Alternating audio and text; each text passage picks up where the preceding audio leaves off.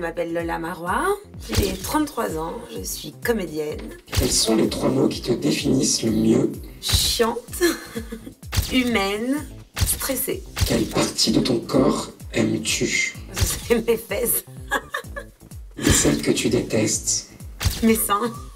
Quelle chanson te fait pleurer son vieux par-dessus râpé, il s'en allait l'hiver, l'été. Dans le petit matin frileux, mon vieux. J'arrête sinon je vais chialer. Raconte-nous ta plus grosse honte. Un jour, je me suis cassé la gueule euh, dans le métro devant une bande de mecs assez mignons. Moi, je faisais un peu ma belle, je suis passée en talons. Et je me suis étalée pile euh, à leur niveau. Euh, J'ai voulu décéder ce jour-là. Quelle est ta chanson honteuse À toutes les filles que j'ai aimées avant, qui sont devenues femmes maintenant.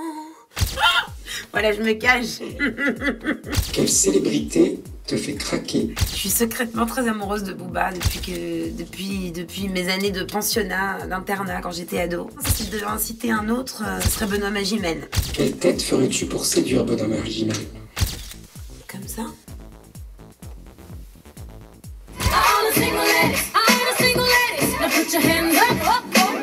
Quel est le pire endroit où tu as fait l'amour? Euh, je crois que c'est sur la plage parce que c'est pas très très euh, agréable en fait avec le sable. Ça reste un fantasme, on se dit c'est génial sur la plage, mais en fait c'est pas terrible. C'est mieux de, de revenir aux fondamentaux quoi. Faut prendre un lit je pense. Est-ce qu'une célébrité t'a déjà dragué? Je me suis déjà fait draguer par euh, Pascal Obispo qui se souvenait plus que j'étais la femme de Jean-Marie Bigard. C'était avant qu'il se marie. Hein. Je me suis fait draguer par Calogero en boîte euh, quand j'avais 20 22 ans, 23 ans. Ça s'est jamais concrétisé Bonus Carton, je sais pas. Raconte-nous ta blague la plus cochonne.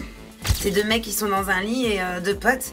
Ils sont un peu bourrés, euh, ils rentrent de boîte et il y en a un qui dit à l'autre euh, Ben, euh, dis-moi, Paul, tu serais pas en train de te branler là par hasard Et l'autre dit Bah si, pourquoi? Et il dit Bah tu serais gentil de prendre ta bite. Bah là, on a touché le fond, je crois. hein.